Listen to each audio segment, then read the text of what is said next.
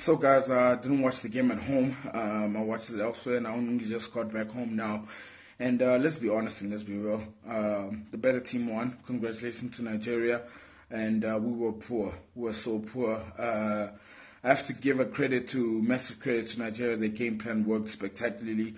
Uh, they cancelled out our front three, um, cancelled out Lorch, cancelled out Pistol, cancelled out Mothiba.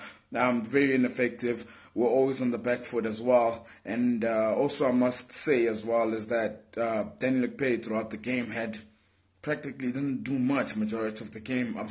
He didn't do much majority of the game. I think that was also disappointing as well, as knowing that uh, Daniel Akpeyi can be very error prone, and if you've watched him in the AFCON, there is some goals that he's let in that probably he wasn't supposed to let in, and we did not utilize that weakness.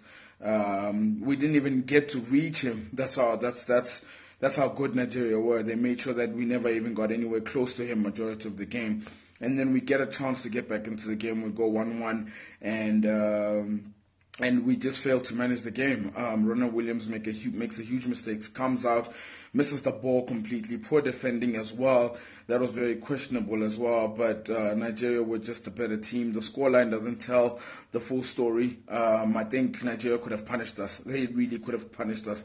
Um, they've made they made some poor decisions in the final third. And if they had gotten them right, it would have been really bad for us. But I think the euphoria from the Egypt game, I just was expecting better. I was expecting better in terms of performance. Uh, uh, but that just didn't happen. As well as also we didn't we didn't cope well with their physicality as well. You know, I mean, the times we just felt it just seemed like we're nervous, we're scared. We kept let, we kept losing the ball easily. I don't understand. Uh, maybe the occasion was too big for the boys, to be honest. Uh, um, but reaching the quarterfinals is good, but it's just how we, we exited. I think that's what hurts the most is how we exited. Is that I just expected a bad fight from Bafana Bafana, and yes, we got the goal, but we just managed it poorly. We could have managed it into extra time, but that didn't happen. And the better team won. We were poor. The score line doesn't tell the whole story. Let me tell you that.